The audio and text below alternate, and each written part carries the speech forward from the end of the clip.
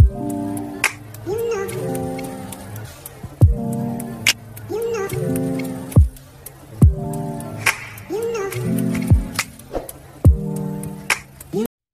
Assalamualaikum semuanya. Kembali lagi di channel youtube Umi Zadan Kitchen. Di video kali ini Umi mau buat bakwan yang enak banget. Ini bakwannya tetap kokoh Nggak letoy, nggak lembek Walaupun sudah dingin ya. Nah mau tahu caranya Gimana Umi buat bakwan seperti ini? Tonton terus videonya ya. Jangan lupa subscribe, like, komen channel youtube Umi Zadan Kitchen. Dan tekan tombol loncengnya juga Agar tidak ketinggalan video-video terbaru dari kami Terima kasih.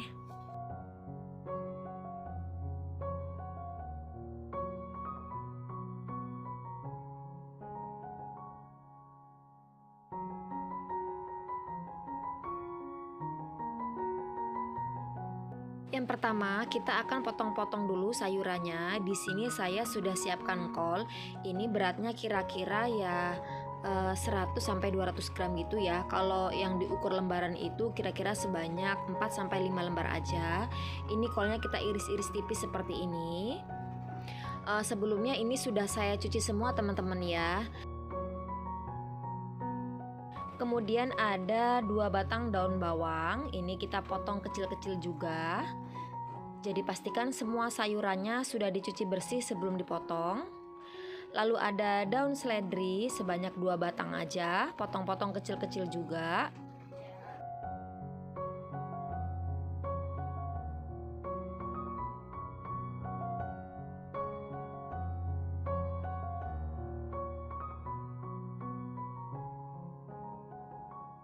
Lalu ada dua buah wortel sudah saya kupas dan sudah saya cuci bersih. Ini mau saya serut kasar ya. Boleh juga dipotong model korek api menggunakan pisau. Ini biar cepat aja. Jadi saya serut menggunakan pasahan seperti ini. Nah, kalau mau ditambah dengan jagung juga boleh ya teman-teman, tapi saya kurang suka kalau ditambah jagung, jadi saya pakai kayak gini aja. Selanjutnya, saya mau buat bumbunya. Ini ada 5 siung bawang putih, 2 butir kemiri, kemudian seruas kunyit. Ini saya apa tutuk-tutuk gini dulu ya. Saya tumbuk-tumbuk biar dia nanti kalau diulek itu nggak susah. Kalau mau di blender juga boleh sesuai selera aja ya. Ini karena cuma dikit jadi saya mau ulek aja. Saya tambahkan garam sebanyak 1 sendok teh terlebih dahulu. Kalau nanti kurang asin bisa ditambah dan sedikit gula pasir. Kira-kira seujung sendok makan itu aja ya gula pasirnya. Ulek sampai halus. Lalu bumbu ulekannya saya langsung masukkan ke dalam sayur yang sudah saya letakkan di baskom. Ini saya bersihkan solet sambalnya biar nggak kebuang, sayang ya, biar nggak mubazir. Dan ada sedikit lada bubuk, kira-kira setengah sendok teh aja. Kemudian saya tambahkan tepung terigu sebanyak 150 gram. Ini saya masukkannya bertahap. Kemudian 4 sendok makan atau 40 gram tepung beras. Lalu saya tambahkan dengan 350 ml air ini saya aduk-aduk ya kemudian ini saya tuang airnya itu pas di atas bumbu yang diulek ya biar nanti bumbunya itu nggak menggumpal. Kemudian ini diaduk-aduk hingga tercampur rata. Ini tujuan saya nggak masukkan sekaligus tepung terigunya itu untuk ngira-ngira ya teman-teman ya. Kira-kira butuh berapa banyak sih tepung terigunya? Nanti takutnya terlalu kental atau terlalu encer gitu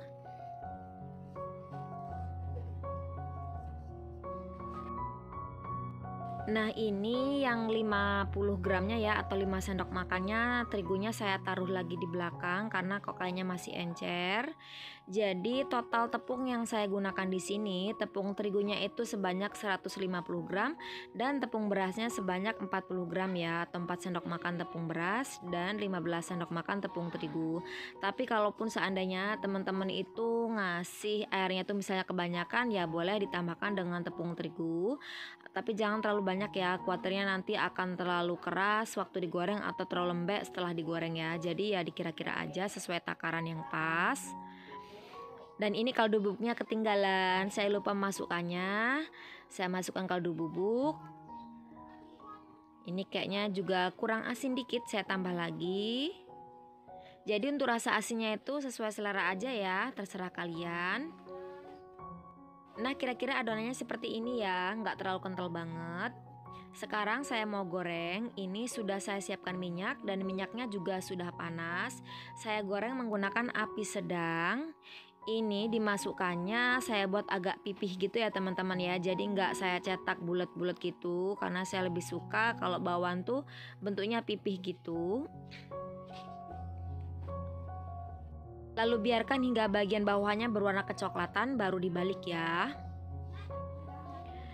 Nah, kira-kira kalau bagian bawahnya sudah berwarna kecoklatan, ini bisa dibalik.